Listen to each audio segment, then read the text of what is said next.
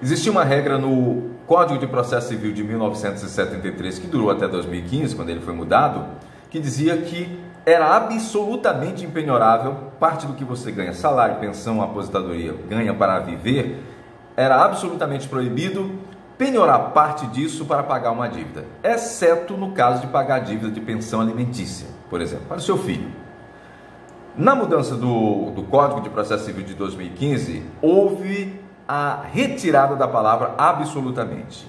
Com base nisso, o STJ este ano fez uma mudança no entendimento. Agora, se não comprometer a sobrevivência digna do devedor, pode sim ser penhorada parte do salário, pensão, aposentadoria dele para pagar uma dívida, ainda que ela não seja de caráter alimentar.